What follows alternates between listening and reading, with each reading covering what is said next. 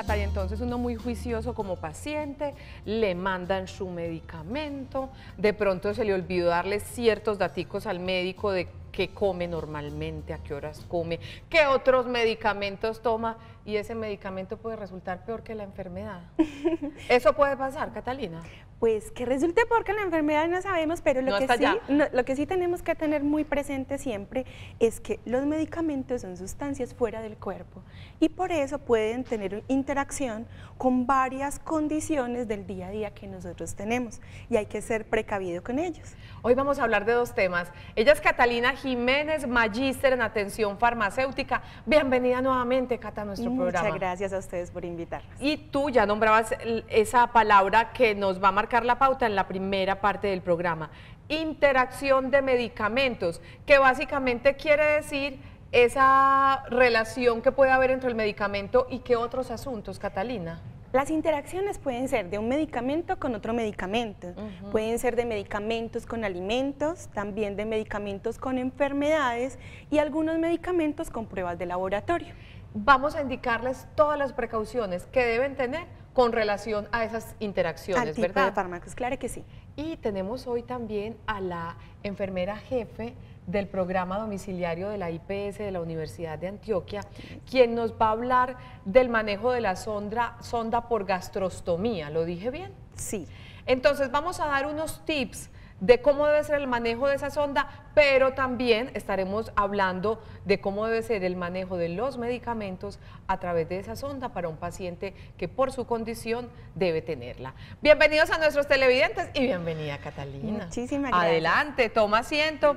Y sí, es verdad, ah, será, mm, sucede muy común, Cata, de pronto que en las consultas los pacientes o bien eh, no digan alguna información con relación a asuntos que consumen, a otros medicamentos, a otros alimentos, y el asunto se puede complicar justamente por la interacción que se puede causar. Claro que sí. Generalmente tenemos dos tipos de resultados. O que el medicamento no nos haga el efecto que estamos buscando, para el cual el médico lo ha prescrito, o que el medicamento haga el efecto pero nos genere un problema adicional, que es lo que llamamos muchas veces reacciones adversas o efectos secundarios indeseados. ¿sí? Entonces el paciente nos dice mucho, es que ese medicamento me está cayendo mal, entonces nos hablan de que es la dosis o de que, o de que es el laboratorio y realmente no es el laboratorio o no es la dosis que la subieron y la bajaron, sino que está haciendo una interacción con cualquiera de las cuatro cosas que nombramos ahorita, que cuáles eran. Los medicamentos, los alimentos, pruebas de laboratorio y otras enfermedades. Listo. Bueno, y fitoterapéuticos también caben ahí. ¿Qué es fitoterapéuticos? Fitoterapéuticos son los medicamentos naturales. Tenemos la creencia de que los medicamentos, al ser naturales, no tienen efectos secundarios y eso no es verdad. ¿Cierto? Los productos naturales también tienen efectos secundarios. Todo lo que es ajeno al cuerpo va a tener un efecto positivo y negativo. ¿Qué buscamos nosotros en salud? Que sea mucho mayor lo positivo que lo negativo. Y las plantas cumplen ese mismo rango, ese mismo patrón y esa misma función. Entonces esa interacción de medicamentos, para que vamos aprendiendo bien la lección, puede causar en nuestro organismo que el medicamento no sirva, no actúe como debe ser, que no cumpla con su objetivo, que eso es grave. Entonces imagine un paciente hipertenso que no, que no controle su tensión, su presión arterial por una interacción. Que el medicamento actúe más de lo normal y nos vamos al otro extremo y tampoco es bueno, ¿verdad? Exactamente, ese es el suceso. ¿Y alergias a medicamentos es otra cosa o también tiene que ver? Como conversábamos en un programa anterior, ¿cierto? Con el doctor Julián, eh, hay dos cosas diferentes. Uno es la hipersensibilidad a los fármacos, Y la otra es la alergia como tal. La alergia como tal es cuando uno habla de un shock, que todo el cuerpo se pone mal y hay que entrar a intervenir rápidamente. La hipersensibilidad es que hay personas que son más sensibles, ¿cierto?, a ciertas sustancias. Entonces uno escucha que le dicen, no, es que yo me tomo ese medicamento y de verdad que no me aguanto el estómago, me da muchas ganas de vomitar o de pronto me da como una piquiña en la piel y eso es la hipersensibilidad. Esa hipersensibilidad se puede disparar por interacciones. Claro que sí. Abrimos nuestra línea de WhatsApp. ¿Tiene usted alguna inquietud? Sobre nuestro tema de hoy, interacción de medicamentos. Mejor dicho, ¿qué es esa mezcla de medicamentos con otros asuntos, como nos lo nombraba Catalina, que puede causar algunos problemas. Y el otro tema que vamos a tratar más adelante, por si usted tiene algún paciente con eh, sonda por gastrostomía, si tiene alguna inquietud o si quiere compartirnos algo de la manera que usted maneja esta situación, bienvenidos al 305-316-6560 y vamos con esta pregunta para Catalina. Hola, mi nombre es Patricia. ¿Los medicamentos pueden causar reacciones no deseadas con los alimentos? ¿Cómo así que los alimentos pueden causar interacción con los medicamentos? Sí, vamos, a hablar, vamos por partecitas. alimentos. Vamos a hablar de dos específicos, ¿sí? ¿Cuáles alimentos? Los que nos van a cambiar la acidez del estómago. Eso es lo que nosotros llamamos pH. ¿Vale? Entonces, por ejemplo, medicamentos como los jugos de naranja, especialmente el jugo de naranja ácido, medicamentos como el café, medicamentos como la Coca-Cola, van a cambiar esa acidez del estómago. Alimentos. Alimentos, ¿cierto? Ay, perdón, alimentos. Yo estoy hablando de medicamentos, ya la costumbre. Entonces, ¿cuáles? ¿Cuáles alimentos? Alimentos, jugos de naranja, café, bebidas oscuras, Coca-Colas, todo lo que es carbonatado, entonces agua con gas, todo eso nos va a cambiar la acidez del estómago. ¿Sí? El agüita de bicarbonato con limón que a veces se toman para mejorar como la pesadez gástrica, todo eso nos cambia eh, la acidez estomacal. Ese cambio de la acidez estomacal va a generar una interacción con los medicamentos. ¿Por qué? Porque los medicamentos están diseñados para que se abran en el estómago. Cuando las tabletas, los orales, estas interacciones es importante tenerlas presente, de que son medicamentos orales, ¿sí? que son las más importantes, cuando el medicamento llega al estómago, él se tiene que disolver, se tiene que abrir, como si lo echáramos en agua, así mismo se abre. Y para que se abra y se disuelva, necesita una acidez específica. Y de ahí pasa al intestino y ya en el intestino se absorbe y pasa a la sangre. ¿Qué es absorberse? Que el medicamento tiene que ir hasta la sangre y llegar al punto donde hace su acción y a través de donde lo hace, del intestino y ahí se va a la sangre. Primero se disuelve y esa acidez cambia esa disolución. Entonces, por ejemplo, antihipertensivos, ¿sí? Algunos antihipertensivos, especialmente el amilodipino, el nifedipino, el adalat, ¿cierto? Son medicamentos que cuando se cambia esa acidez, ellos inmediatamente se eh, disminuyen la cantidad eh, de fármaco que va a pasar al organismo. ¿Solamente esos medicamentos o muchos otros o la mayoría? Hay muchos que generan ese tipo de reacción. De pronto las más fuertes que se han indicado son en estos medicamentos. Repitámoslos por favor. Nifedipino, amilodipino, oros. ¿Y por qué estos medicamentos? Porque hay muchos antihipertensivos, hay muchos medicamentos para la presión y cada uno son de una familia distinta. Específicamente los de esta familia son muy sensibles a ese cambio en la acidez del estómago. Entonces hay que tratar de darlos dos horas, antes de, dos horas después de los alimentos o una hora antes de los alimentos. Otros, por ejemplo, analgésicos. ¿sí? Entonces, digamos, el acetaminofén. ¿Han escuchado que a veces el acetaminofén se lo toman con café o se lo toman con Coca-Cola? Que es como una bomba para, dice la gente, para el dolor de cabeza o para que no te dé sueño o todas esas cosas. Yo me voy a tapar los ojitos por lo que voy a decir, que me van a regañar. Entonces yo también. Sí, pero funciona. ¿Por qué? Porque en este caso, ese cambio de acidez favorece que el acetaminofén pase más rápido a la sangre y al pasar más rápido a la sangre tiene un efecto más rápido también. Ajá. Con esos hipertensivos, que es básicamente el listado que estabas haciendo, ¿me repites porfa el concepto de qué sucede si me los tomo parejito con esos alimentos que también ya nos nombraste? ¿Qué es lo que sucede? Que no actúan como debe ser en el organismo. Que no actúan como debe ser y puedo llevar fácilmente a que nunca se me controle la presión. Entonces es el tipo de pacientes en los que tenemos una presión que unos días está bien, otros días está mal, unos días está bien, otros días está mal y uno no sabe cómo ni de dónde cogerlo ni qué medicamento darle finalmente. Y justamente es por esa interacción con alimentos. Eso en cuanto a alimentos. En términos generales, Cata, de todos modos deberíamos ser preventivos. Cualquier tipo de medicamento oral, tener esa fórmula de antes y después de los alimentos. O sea, vamos a repetir esto.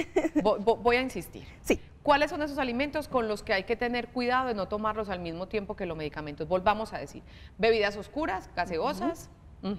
Eh, bebidas carbonatadas, como el agua con gas, por ejemplo, eh, la, preparación que hacemos de bicarbonato con limón también para mejorar, eh, bebidas muy ácidas, ¿sí? O bebidas muy alcalinas. Perfecto. Entonces, todas ese tipo de bebidas tenemos que tener cuidados bien especiales. Con ciertos medicamentos y para controlar la presión arterial, que ya lo nombró varias veces Catalina, no se debe consumir esos alimentos, esas bebidas y el medicamento oral al mismo tiempo porque no van a hacer el mismo efecto en nuestro organismo, es decir, no van a cumplir con la función requerida, indicada por el médico, es decir, que nos va a ir mal a nivel de salud. Mi pregunta es, ¿es mejor tener esa recomendación para todos los medicamentos orales o únicamente con eso? Me encanta esa pregunta. Pues resulta que muchos medicamentos tienen interacción y unos pocos se necesitan alimentos para que funcionen, lo que también es una interacción. O sea, uno la puede aprovechar o te puede hacer daño, ¿cierto? ¿Cuál es la recomendación entonces? Preguntar siempre al médico en el momento de la prescripción o al farmacéutico en el momento de la dispensación o la entrega de los medicamentos.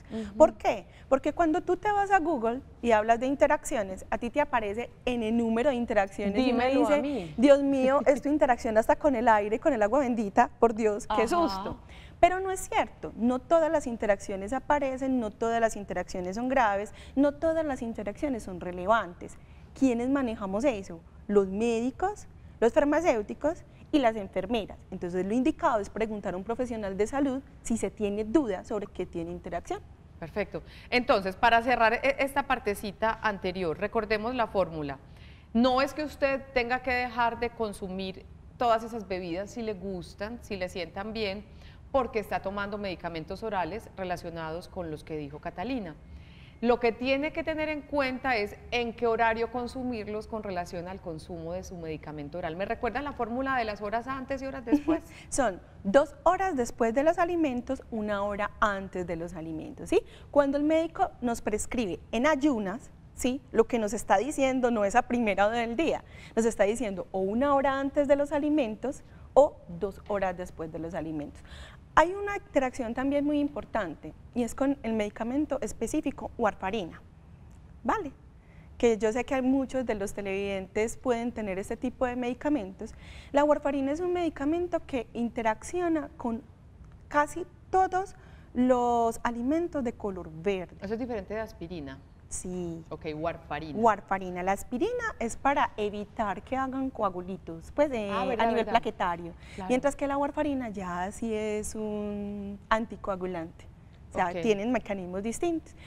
Importante con las interacciones. ¿Cuáles son las importantes y las relevantes? Aquellas de los medicamentos que aparecen en la franjita como estrecho, margen, terapéutico.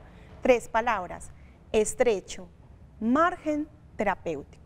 Cualquier medicamento que sea de estrecho margen terapéutico puede tener una mayor probabilidad de interacciones y estas son las importantes para nosotros. Así que si queremos buscar en Google, lo que tenemos que buscar no son las interacciones, sino si el fármaco que estoy tomando es de estrecho margen terapéutico. Es ahí donde tenemos que prestar atención.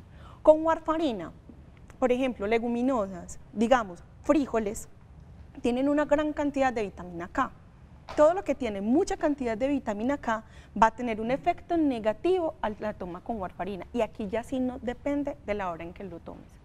¿Sí? Mm, Aquí ya sí es en la mañana, en la tarde o en la noche. Entonces, no se trata de decir, ay, mira, tú tomas warfarina, no puedes comer lechuga, no puedes comer brócoli, no puedes comer frijoles. No, no se trata de eso, sino que se trata de hablar con el profesional de la salud para que según la dieta que tú utilizas, se ajuste la dosis de warfarina.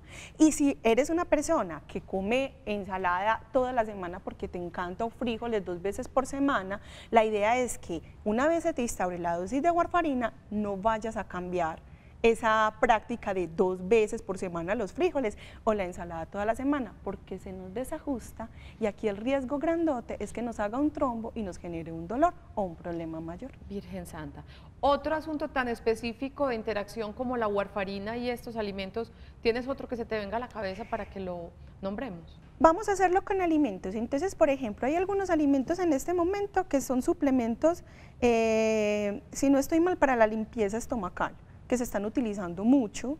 No puedo decir marcas. Sí, dile. Sí. Claro. Ahí se me olvidó. Fusion. Ok, no que lo conocía. lo que hacen es, son muy buenos, son productos muy buenos, la gente que los usa dice pues que les funciona bastante bien, maravilloso. ¿Para limpieza estomacal? Eh, sí, se hace una limpieza. Mm. ¿sí? Entonces, ¿qué pasa? Por ejemplo, los anticonceptivos orales. Cuando nosotros hacemos una limpieza, es un barrido, lo que hago es cambiar toda la flora del estómago, ¿cierto? ¿Qué es la flora? Todos en el intestino tenemos microorganismos que no nos hacen daño. Digámoslo así, aprendieron a vivir con uno y uno con ellos. Y perfecto porque nos ayudan para muchas cosas. ¿Qué sucede entonces? Cuando se generan estas limpiezas tan exhaustivas y tan bruscas, esa flora cambia. Y al cambiar, estos anticonceptivos no funcionan. Oh. Entonces tenemos un hijo de la fusión. Ah, ¿cómo Literalmente. le parece? ¿Cómo le parece? Y no justamente con el esposo. Ay, Dios mío, ¿qué tal? Ah, bueno, súper importante, esa, recomendación. Ok.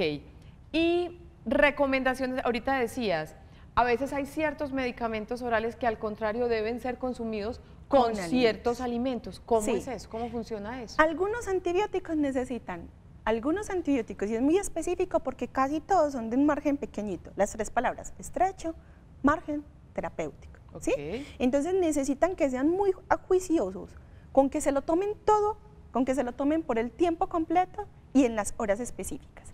¿sí? Hay un medicamento específico que se llama furosemida, eh, furosemida no, cefuroxime, ¿sí? Es que es muy confuso. Son muy parecidas. No, y hay otras más parecidas todavía. Me imagino. Entonces, el cefuroxime es un medicamento que se diseñó farmacéuticamente para que se pueda tomar con alimentos, porque él caía un poco pesado al estómago y por el sabor. Entonces, los farmacéuticos, en una gran genialidad, que deberían hacerlo con casi todos los fármacos, lo diseñaron para que se tomara con alimentos y si no se toma con alimentos, no funciona. Entonces, es maravilloso porque viene en suspensión, viene para niños, especialmente lo utilizan para sinusitis, entonces, claro, a los niños es difícil darle los fármacos y aquí te lo puedes mezclar en, en el agua de panela, en el juguito, en lo que tú quieras, en la papillita y se le da. Si no se, si no se asocia con alimentos, ese medicamento apenas actúa el 40%. ¿Algún otro que tenga esa condición? Casi, casi la mayoría de los antibióticos. ¿De quién hay que separarlos? De la leche. Mm. De la leche hay que separarlos. ¿Por qué? Por los efectos secundarios. Porque al contrario, ¿cierto? De los otros medicamentos, cuando se dan con leche, ellos generan efectos nocivos. Entonces, generalmente los antibióticos deben ser consumidos con algún alimento también. O dos horas antes o dos horas después, ¿cierto? Pero hay unos específicos, como el cefuroxime, que se tienen o se deben consumir con alimentos. Y cualquier antibiótico, si te entiendo bien, Cata, ni- de ninguna manera con productos lácteos. Hay que tratar de evitar al máximo los lácteos en el consumo y se los pido con mucha consideración porque somos felices tomándonos los medicamentos con el agua panela con leche o con el café con leche. Antibióticos, cero, por favor. Y tengo que preguntarle lo del licor y los antibióticos. Claro que sí. ¿Eso qué tal? ¿Eso sí funciona o no funciona? ¿Me puedo volver a tapar los ojos? Tápese los ojos. Vamos a ser honestos. No hay en realidad una interacción relevante con los antibióticos y el licor. Realmente no lo hay, especialmente con la moxicilina, por ejemplo, que es una de las más usadas. No hay interacción O entre sea, los se unos puede tomar también licor y Virgen Santa. Sí, que Entonces, sí hay que tener una precaución, Ajá. ¿cierto? Que hay unos antibióticos específicos que no se pueden tocar ni, ni siquiera oler con el alcohol. Por ejemplo, el metronidazol, ¿sí? Entonces, como es una lista donde hay unos que sí y hay otros que no, Es mejor que no. es mejor que uno lo evite. Además, yo digo una cosa, si tú tienes una infección es porque tu cuerpo está bajito de defensas. Bueno, bajito de defensas no, o sea, tiene que estar en batalla, ¿sí? Y les voy a dar un truco. Un antibiótico solo actúa en el 60% de su capacidad. Es decir, el antibiótico solo te ayuda hasta el 60%. El otro 40% lo tiene que hacer tu cuerpo. Vale, entonces como lo tiene que hacer tu cuerpo, lo tiene que hacer tu organismo, ¿tú qué necesitas para aumentar esas defensas? Reposo. Y si te emborrachas, no creo que ese reposo te ayude mucho. Pero por supuesto, entonces digamos que para ser sinceros y ser claros, eh, en realidad no es que necesariamente el alcohol dañe el efecto del antibiótico, pero este complemento en la explicación que da Catalina yo creo que nos hace volver a pensar lo mismo. ¿Cómo vamos a estar tomando licor si estamos no tomando antibióticos sentido. porque estamos enfermos? No debemos hacer esa combinación. Hay una cosa que sí es importante, hay unos antibióticos que de verdad el efecto secundario, o sea, lo que se genera cuando se combina con el alcohol es muy, muy grave. Te puedes terminar en una unidad de cuidados intensivos. ¿Cómo te parece? Exacto. Entonces, son aproximadamente unos 10 antibióticos que van a llevar a los pacientes a este tipo de problema tan grave. algunos? Eh, yo preferiría, en vez de recordarlos cada vez que se les haga una prescripción de un antibiótico, conversen el tema con el médico. ¿Por qué? Porque digamos vamos a tener una reunioncita el fin de semana, eh, generalmente entonces ya viene el maridaje, entonces la copita de vino, y entonces haz la pregunta. La invitación aquí siempre es preguntemos, ¿sí? Y seamos honestos con los profesionales de salud ve, me voy a tomar unas copitas, el médico te va a decir hasta acá o hasta allá. Pasa lo mismo con los antidiabéticos orales te van a decir exactamente lo mismo. ¿Los qué? Los antidiabéticos orales son los medicamentos que se utilizan para los diabéticos, pero que son orales, que no son insulina. Ah, sino que son las tableticas que se toman para bajar el azúcar. Hay una específicamente que no se puede ver con el licor y se llama glibenclamida. Se usa ahora mucho menos que antes, pero ahí hay mucho paciente que la usa. Con la glibenclamida cero licor, por favor, el daño que se hacen en el hígado es brutal es horrible. Entonces, por favor, cero con glibenclamida. Hay otros fármacos nuevos que también son orales, preguntémosle al profesional de la salud, seamos honestos, preguntémosle al farmacéutico, a las enfermeras, seamos honestos. Y como digo, pues los excesos son malos, evitemos llevar el licor al exceso. Eh, yo sí me curo en salud. Si yo estoy tomando estos antidiabéticos orales o cualquier tipo de antibiótico, no me tomo un trago. yo, en la vida real confieso, no me tomo un trago, pero así lo hiciera, ah, pues espera unos días, termina su tratamiento y sigue tranquilo, pero bien importante esa recomendación, Cata, de consultarlo con su especialista. Ser muy sinceros, ser muy claros, porque como bien lo decía, hay varios antibióticos, decías que unos 10 antibióticos eh, que pueden llevarte a una condición grave de salud si lo combinas con el licor. Así que siempre consúltalo con tu especialista y no te automediques, que sea un antibiótico recetado por el médico. Muy bien, en este tema de manejo de medicamentos también está el tema de manejo de medicamentos por sonda de gastrostomía. Por eso, hoy tenemos nuestra sección Noticias Ana Quesada.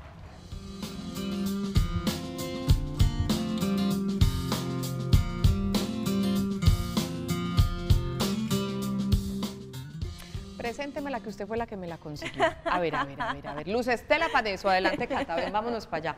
Y la saludamos. Te, quieres sentar al ladito de ella, ¿verdad? Sí. Para ayudarle. Luz Estela, bienvenida, ¿cómo estás? Muy buenos días, muchas gracias. ¿Cómo has estado? ¿Has visitado muchos domicilios? Eh, bastante. Hoy no, porque no la dejé, porque se vino Hoy estamos aquí. Y les digo, les digo eso porque Luz Estela Paneso es la enfermera jefe del programa de medicina domiciliaria de la IPS de la Universidad de Antioquia. Bien claro lo tiene en su chaleco. Qué rico que estés con nosotros. Muchísimas gracias por la invitación. Gracias. Mi niña, esto básicamente es lo que es una sonda de gastrostomía. ¿Cómo es que se llama nuestro amiguito? Ella es Camila. Hola Camila. Porque es que Camilo, que es el muñeco de prueba que hay en la clínica, se fue a estudiar al pues. Me habías dicho que era Camilo y yo, a ver, Es que Camilo se fue a estudiar, entonces nos tocó traer a Camila. No importa, Camila, ¿y este bebé? Es el hermanito de Camila. Ah, bueno, Camila y Camilito. Esto es una sonda de gastrostomía. Es una sonda de gastrostomía. ¿Cuáles eh, diagnósticos requieren generalmente una sonda de gastrostomía, Luz Estela? En gran parte puede ser eh, lesiones del tracto digestivo, especialmente en el esófago, que pueden ser generados por traumas severos o por cáncer, que es el más frecuente, o algún tipo de, de tumor que obstaculice la entrada del alimento de una manera adecuada. ¿Estas ondas de gastrostomía son permanentes para los pacientes o a veces son temporales? Algunas veces son temporales, depende mucho de la condición clínica eh, y de lo que el especialista esté buscando. A veces solamente están esperando para, para realizar cirugías reconstructivas y entre tanto se alimenta el usuario o el paciente a través de estas ondas. Y a través de esta sonda no solamente se alimenta, sino que también se pueden suministrar medicamentos. También se suministran medicamentos. Perfecto. Y esos medicamentos, María, pero qué lista de preguntas. pueden llegar a ser administrados no solo por profesionales de la salud, sino cuando el paciente está en casa, lo hace algún familiar que esté capacitado. Lo hace el familiar entrenado. Lo hace el familiar entrenado. Igual que eh, se educa el usuario para la administración de su medicamento oral, al usuario que tiene un paciente o que es cuidador de un paciente con gastrostomía, se le educa cómo diluir, cómo administrar y cómo eh, vigilar los signos y síntomas adversos a la sonda de gastrostomía. Entonces vamos por esos pasos, cómo diluir, cómo administrar y cómo eh, vigilar los signos adversos. ¿Qué nos quieres enseñar con relación al manejo de medicamentos a través de esta sonda? Eh, muy bien, como decía Catalina, los medicamentos es algo muy delicado Muchos no se, pueden, no se pueden triturar o no se pueden diluir por su presentación farmacéutica. Eh, otros hay que diluirlos muy bien eh, para poderlos pasar porque si yo no eh, lo diluyo, no lo vuelvo líquido, pues me va a generar una obstrucción de la sonda y de esta manera no voy a poder pasar ni alimento ni el mismo medicamento. Perfecto. O sea, por, ese, eh, por esta sonda se puede pasar medicamentos líquidos, pero también en pastillita que se diluyen. Ambas cosas. ambas cosas. Bueno, ahí vamos aprendiendo. Entonces, ¿con qué vamos a empezar? Muy bien, entonces, eh, si quieres empezamos con la, con la técnica de administración del medicamento. Perfecto. ¿Quiere que le ayude o usted está bien así? Tranquila. Perfecto. Entonces, antes de desempatar la sonda, yo siempre debo de pinzarla porque si yo no la pinzo me puede entrar... enfocando desde allí para que lo tengas en cuenta desde esta camarita. Me puede entrar aire o me puede eh, salir contenido gástrico. Perfecto. Entonces, de esta manera vas a sacar la, jeringuita para hacer la preparación y después suministrársela. ¿Y cómo se queda esto mientras tanto? Eh, esto tiene un taponcito que uno lo, coloca o yo puedo dejar las, la bolsa a través de la cual administro eh, el alimento conectada a la, a la sonda. Perfecto. Y cerrada. Y con la llave cerrada. Perfecto. Queda de esta manera. Listo. Eh, si yo voy a diluir las tabletas, son tabletas que se puedan diluir, tomo agua en un recipiente, en un vaso o en el recipiente donde yo macero o trituro las tabletas, eh, lo diluyo con agua y cuando tengo ya mi preparado, mis tabletas completamente diluidas, entonces procedo a la administración. Pero venga, vamos más despacio. ¿Dónde estaban las tabletas? ¿Estaban acá? es, vamos despaciecito, Milú. Muy bien. Hay tres eh, tipos de tabletas. Muy bien. Entonces, hay unas tabletas que son las que nosotros vemos que cuando las sacamos nos dejan como el polvito en la mano. Sí. Esas tabletas generalmente son tabletas que se diluyen muy fácil en agüita. Entonces le echas un poquito de agua y te diluyen. Perfecto. ¿Y te dicen en qué porción de agua? No, no es necesario. Hay que tener en cuenta que el médico siempre nos va a hacer una recomendación. Hay, hay pacientes que no pueden tener muchos líquidos, entonces entre menos líquido utilicen, mejor. Perfecto. Segundo tipo de tabletas, las que llamamos recubiertas. Las recubiertas son el ibuprofeno. ¿Han visto que el ibuprofeno es de color naranja? Sí, sí, sí, como muy gruesa esa cubierta. Eso, y no te deja el polvito en las manos. Entonces, como no te deja el polvito en las manos, lo que tienes que hacer es pelar. Rasparla como, como la zanahoria. Como la zanahoria. que también es naranja. y se echa en el poquito de agua y se permite que se disuelve. Ahí sí se te disuelve, no hay tanto que macerar. Y las terceros tipos de tabletas, que es muy importante, son las que vienen en capsulita. Las que son llenas de pepitas, a veces de colorcitos incluso. Exacto, esas pepitas se llaman pellets.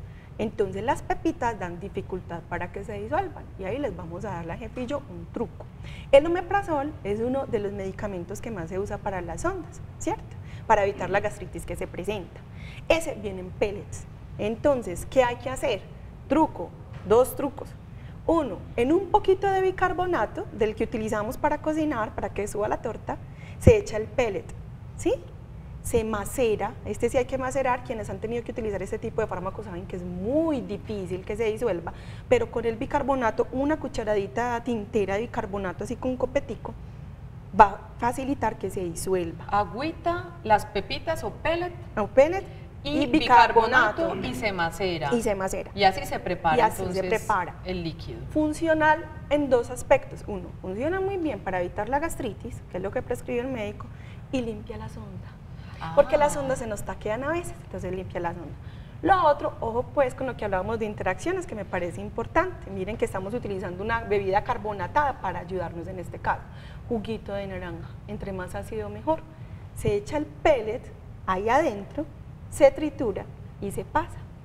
Por eso la que decíamos ahorita, como pueden hacer que se aumente demasiado su efecto, pueden hacer que no funcione. Está muy apasionante este mundo de ustedes, mis niñas, qué montón de intríngulis y detalles que vamos a conocer después de nuestra segunda pausa para comer, primera pausa para comerciales. Hoy en Sana que Sana estamos hablando de interacción de medicamentos. Sí, los medicamentos prescritos por su especialista son necesarios, pero usted debe tener cuidado si los consume con ciertos medicamentos, con ciertos alimentos, con... Eh, cuando tiene ciertas enfermedades. Cuando tiene ciertas enfermedades. Vamos a seguir hablando con más detalle del tema de interacción de medicamentos y con la profe Luz Estela seguiremos aprendiendo sobre el manejo de medicamentos a través de sonda por gastrostomía. Regresamos a Sana que Sana en unos minutitos.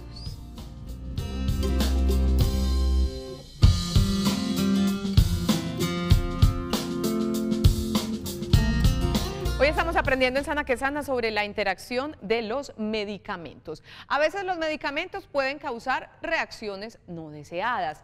Esta interacción puede ocurrir entre, mucha atención, medicamentos y alimentos, como ya hablamos en la primera parte del programa, medicamentos y suplementos, que ya también lo nombramos, medicamentos y enfermedades, y entre medicamentos y otros medicamentos que más adelante tendremos detalle sobre este tema. Por ahora seguiremos hablando con Luz Estela Paneso, la enfermera jefe del programa de medicina domiciliaria de la IPS Universidad de Antioquia, que yo me imagino que uno de los asuntos más importantes que hacen justamente es atender a pacientes que tienen sonda por gastrostomía.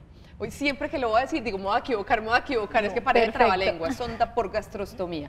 Listo, antes del primer corte estábamos hablando de cómo diluir las diferentes tipos de tabletas orales para después ser suministradas a un paciente a través de la sonda. Ya aprendimos que hay unas que hay que raspar porque tienen su capita, las otras de pellet, que son las bolitas estas que se pueden abrir, que se pueden mezclar con agua, bicarbonato e incluso con juguito de naranja para que se diluyan. Y hay otras que son las que son con polvito, que son muy fáciles de diluir y solo en el agüita. Usted las pone a diluir, listo, está diluida la tableta, ahora sí. Muy bien. ¿Y ahora qué hacemos? Recordemos que bien sea antes de administrar un medicamento o antes de administrar el alimento, a través de una sonda, siempre debemos higienizarnos las manos. siempre lavarnos muy bien las manos porque esto es lo que genera eh, infecciones en el tracto gastrointestinal o a veces colonización con bacterias o gérmenes eh, que le introducimos a través de estas sondas. La segunda precaución que hay que tener antes de administrar el medicamento o el alimento es colocar el paciente en una posición de 45 grados. Camila está a 45. A 45, sí. Más o menos. Aquí estoy a 45. A 45. Un poquito más arribita. A 45. Ah, es decir, ah, es decir, semisentado. Okay. En la casa siempre semisentado para evitar el reflujo, es decir, que el alimento o el medicamento se devuelva a través del esófago o a través de, todo el tracto eh, gastrointestinal Muy superior. Importante. Muy bien, ya teniendo nuestras manos higienizadas o lavadas, teniendo nuestro paciente en la posición correcta, siempre debemos verificar antes de administrar el alimento o antes de administrar el medicamento, vigilar que esté permeable la sonda. ¿Cómo se hace? permeable la sonda. Es decir, que esté libre de obstáculo y que pueda pasar libremente. Ah, ¿Esto cómo se hace? Probando la sonda con 5 o 10 centímetros de agua. Agua eh, común y corriente. Común y corriente, agua del grifo. Perfecto. Pinzamos la sonda, okay. desconectamos, empatamos Ajá. y introducimos suavemente. Y lo que debe suceder es que esa agua entra con tranquilidad, fluye y eso quiere decir que está ahora permeable esa sonda, que no tiene ningún obstáculo. Que no tiene ningún obstáculo. Luego de que yo permeabilizo la sonda, recuerden pinzar, retirar, instalar. Y ya está la sonda apta para recibir ese para recibir el medicamento. En el recipiente donde tengo la tableta diluida, entonces aspiro el contenido. La cantidad de agua, recordemos, nos decía Catalina, va a depender de la condición clínica del usuario, del paciente, si tiene restricción hídrica, es decir, de líquidos, o si puede, eh, se le puede dar agua o líquidos a libre demanda. Lo importante es que la cantidad de agua en la que quedó diluida la pastilla ingrese todita, porque si no, no se ingresa todo el medicamento. el tracto o lo que nos abarca la sonda en un adulto es entre 10 y 20 centímetros eh, de líquido. Eso es lo que yo requiero como mínimo para administrar el, medicamento. Perfecto. Ahora, si fuese un, jarabe o una presentación líquida, se haría de igual forma y ya sería en centímetros que la jeringa nos permite visualizar cuántos centímetros del medicamento. Pero ese jarabe o presentación líquida va como está o se debe también mezclar con agua? No, no va, tal cual liquidito. Va como está y ya luego hago un barrido, si son dos centímetros o tres, hago un barrido con, con agua. Perfecto, ya tengo mi preparación en la jeringa, ya tengo la sonda permeable y listica, ¿y ahora qué hago? Muy bien, vamos a mirar o vamos a observar eh, cualquier reacción adversa al medicamento, igual como cuando yo me tomo una tableta, mirar que no cause gas, que no cause indigestión, dolor, eh, cualquier evento o situación adversa. Eso sería pues como con la parte del medicamento. Si no, está, si no está contraindicado el suministro de, agua en el usuario o en el paciente, a través de la bolsa de nutrición puedo administrar eh, otro poquito de, agua, 20, 50 centímetros, pero de una manera más lenta para evitar que se me colapse la sonda se me, o se me obstruya. Ah, perfecto. Entonces, a través de esta sonda de gastrostomía puedo pasar medicamentos y también alimentos, pero se pasan de esa manera. Acabas de decir una bolsa de nutrición. Esta es para pasar alimento, ¿sí? Pero entonces, como a veces uno no tiene tanto tiempo para eh, estar en este proceso, porque no se debe pasar rápido, administro el medicamento con la jeringa. 10 o 20 centímetros. Como ya no lo mostraste allá. Y si es factible, entonces le pongo a pasar a través de la bolsita 50 eh, o 100 centímetros más de agua de una manera pues más lenta. Perfecto. Es que en esa bolsita se puede echar tanto agua como nutrición. Se pueden echar las dos cositas, se pueden introducir. Entonces, una vez pasa la nutrición, uno puede pasar un poquito de agua. ¿Cuál es el objetivo? De que la, la sonda siempre esté limpia. Entonces, tanto cuando se administran los medicamentos como las nutriciones, hay que tratar de que se pase líquido, así, agüita, común y corriente o solución salina, no, solución salina no, eh, agua, sí, agua tónica, para que se limpie la sonda. ¿Por qué? Porque tanto los alimentos como los medicamentos a veces queda como el poquito. El ripiecito, como decimos. Cuando hacemos un tetero para un niño, generalmente ese tetero queda sucio, ¿cierto? Ven que queda pegado a las paredes. Entonces, en ese orden de ideas, ¿qué tenemos que hacerlo? Lavarlo, ¿verdad? Acá es exactamente igual, esa sondita hay que lavarla. ¿Por qué? Porque si no, cuando llegue el otro medicamento, se van a juntar como ese ripiecito acá en la sonda y la obstruyen, que es lo que estamos procurando que no pase. Perfecto. Tenemos otra pregunta para nuestras invitadas de hoy. La podemos ver acá, Luz Estela, porque estaba para ti. Mi nombre es Sara. Quiero hacer una pregunta. Eh, ¿Cuál es la vía útil de una sonda? Una sonda de estas, ¿cuánto le puede dar a un paciente, Luz Estela? ¿Cuánto, eh, me imagino que eso sí lo tiene que cambiar, es el especialista. ¿Cómo es eso? Las sondas de gastrostomía existen de dos tipos. Una sonda como esta, que es una sonda más, más sencilla. Tenemos otras que son de botón gástrico, es decir, que tienen un botón aquí que va contra la piel y ayuda a fijar la sonda y a evitar que ésta se mueva y se, se deteriore más rápidamente. El promedio de duración de la sonda va entre 6 y 8 meses, eh, pero está muy a criterio del, del médico. ¿Por qué? Porque cada vez que yo cambio la sonda que se hace en una unidad de endoscopia, eh, siempre requiere un, número más. Las ondas vienen por números, 14, 16, 18, 20, entonces cada que se cambia se debe colocar un número más, debido a que la sonda va... ¿El tamaño del paciente? No. No. Debido a que la sonda va a través de un orificio que se llama estoma en, en la pared abdominal y eh, como esto es un cuerpo extraño, va haciendo como caminito. Va, cediendo. Va cediendo. Entonces, cada que yo la cambio, siempre requiere un número más. Entonces, por eso eh, el material está diseñado entre 6, 8 meses. En lo posible, hay pacientes que les ha durado hasta un año porque han tenido muy buen uso. Eh, lo ideal sí es tratar de que esa sonda permanezca el mayor tiempo posible. Perfecto. Seguiremos hablando con nuestras especialistas de hoy frente al manejo de la sonda por gastrostomía y la interacción de los medicamentos. Por ahora vamos con noticias, Ana Quesada. Continuamos hoy en Sana Quesana hablando de interacción de medicamentos y manejo de medicamentos por sonda de gastrostomía. A propósito de este tema, sobre la administración de medicamentos por sonda. Prepare el medicamento en tabletas triturándolas y diluyéndolas hasta obtener una mezcla homogénea y utilizando la menor cantidad de líquido posible o según el estado del paciente, como nos lo explicaban nuestras invitadas. Para evitar aspiración broncopulmonar y reflujo se debe incorporar al paciente 30 a 45 grados semisentado, como nos lo dijo Luz Estela, al momento de administrársele el medicamento. Antes y después de administrarlo, introduzca 50 mililitros de agua para eliminar residuos alimenticios y de medicamentos que puedan estar en la sonda y para que esté permeable la sonda, como nos lo explicó Luz Estela. Pregunta para terminar el capítulo de las ondas. ¿Cómo debo cuidar esa heridita? Porque yo les decía ahorita que me hablaron que aumentaba el tamaño de la sonda, me imaginé esa heridita, ese, ese ¿cómo, cómo llamo? Estoma. Ese estoma creciendo incontrolablemente. ¿Cómo se maneja eso? ¿Cómo se cuida ese estoma, Luz? Muy bien. Mira, el, el cuidado básico del estoma radica en dos sentidos. Uno, mantener siempre fija la sonda a través de la inmovilización con un micropore que va a la piel. Ahora lo, lo vamos a hacer. Y lo segundo es mantener muy limpio y muy seco el, la, la zona alrededor de la sonda.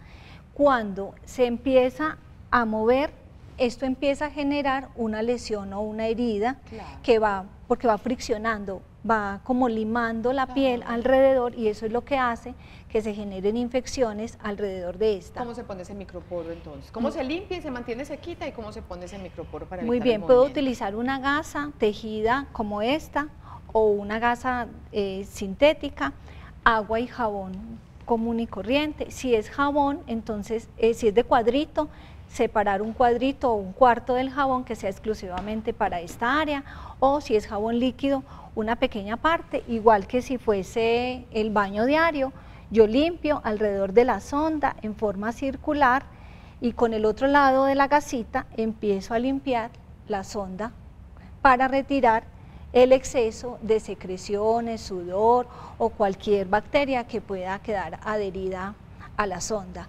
Luego con otra gasa seca,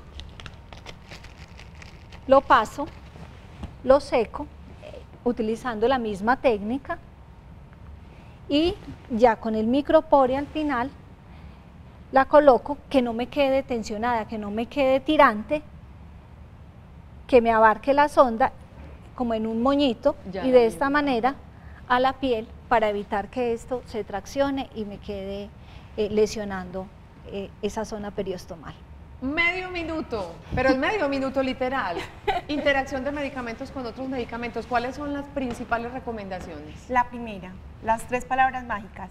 Medicamentos de estrecho, margen, terapéutico. Siempre que digan eso, tengo que tener más cuidado Siempre que digan eso es donde vamos a tener todos los cuidados importantes porque son los que generan interacciones. ¿Con qué interaccionan generalmente? Con medicamentos comunes como omeprazol.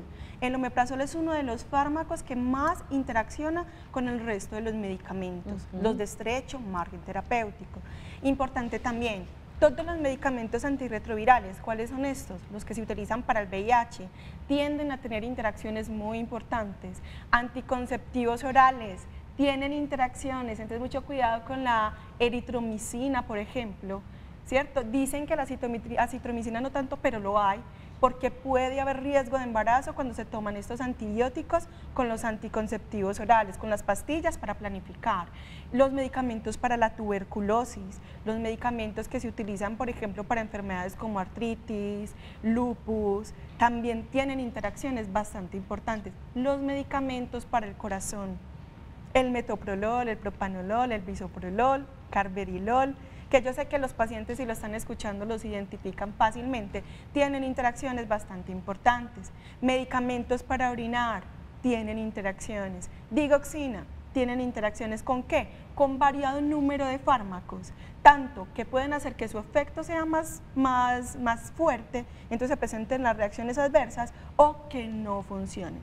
Y el riesgo, por ejemplo, en este caso, que no funcionan, es que les dé un infarto al paciente.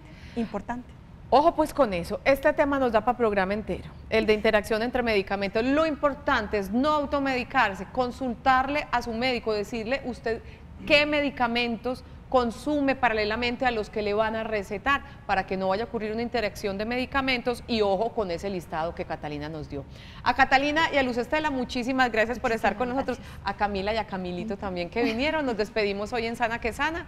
Recuerden que tenemos nuestros productos Gelaprot y el velón de la Virgen de Guadalupe que pueden solicitar a domicilio al 322-9050 opción 1. Nos despedimos y mañana nuestro tema en Sana que Sana será el manejo de los pacientes con demencia, recomendaciones súper importantes para que estén seguros y bien cuidados. Pacientes con demencia, mañana en Sana que Sana. Chao, señoritas. Muchas Hasta gracias. mañana. Chao.